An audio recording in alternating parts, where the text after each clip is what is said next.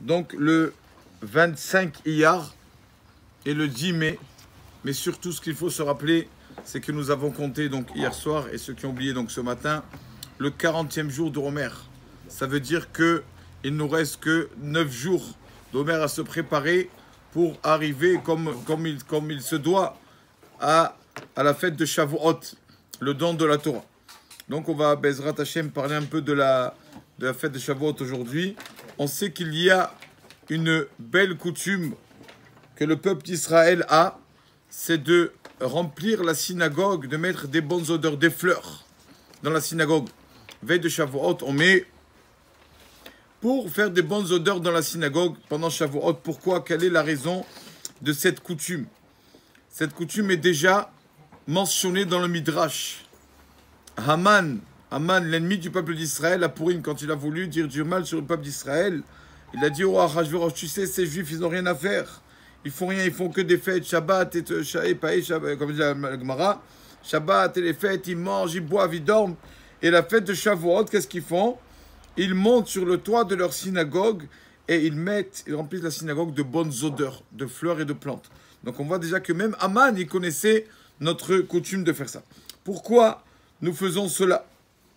Premièrement, comme la Gemara, c'est connu que la Gemara dans la Gemara de Shabbat dit que à chaque commandement, chaque commandement, alors les Chayav il y avait donc les dix commandements, chaque commandement, il y avait une nouvelle odeur qui venait dans le monde.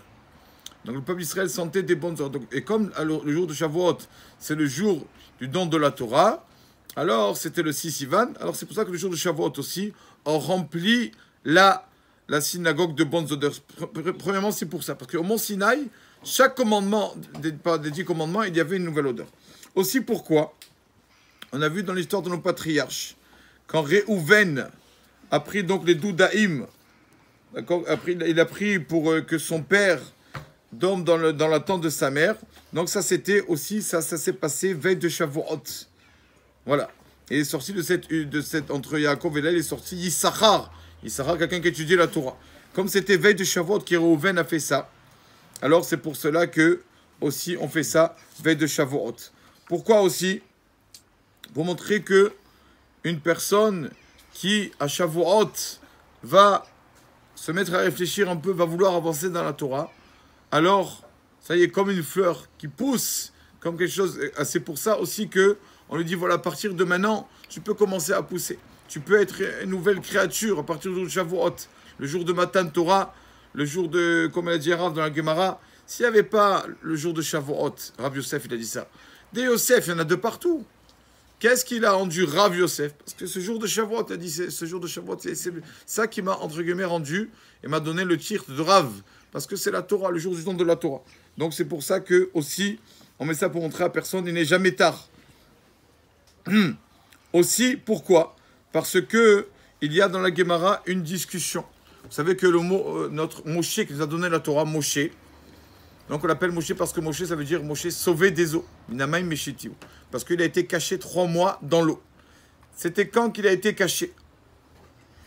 Il y a dans la Gemara, d'accord, il y a deux avis un avis qui dit que c'était le 21 Nissan et un avis qui dit que c'était le 6 Sivan, le jour de Shavuot. Les anges ont dit à Hachem, comment Cet enfant-là, vous le mettez dans le Nil, là, dans ce, dans ce marécage, le 6 Sivan, alors qu'on sait que cet enfant, le 6 Sivan, va donner la Torah au peuple d'Israël. Donc il y a un avis qui dit que c'était le 6 Sivan. Comme le 6 Sivan, mon cher Abbenou, notre, celui qui nous a donné la Torah, était dans un petit marécage dans le Nil, entouré de fleurs et de plantes. Alors, pour, pour me rappeler son mérite aussi, nous aussi, le jour de, du don de la Torah, d'accord Mouché, le jour qu'il était là-bas dans le fleuve, dans le fleuve c'était le dans le Nil, on l'a caché, c'était le 6 Sivan, la date de Shavuot. Pareil, nous aussi, le, la date de Shavuot, le 6 Sivan, on remplit la synagogue de fleurs et de plantes pour rappeler que celui qui nous a donné la Torah, lui aussi, le 6 Sivan, était entouré comme ça de fleurs et de plantes. Amen, amen.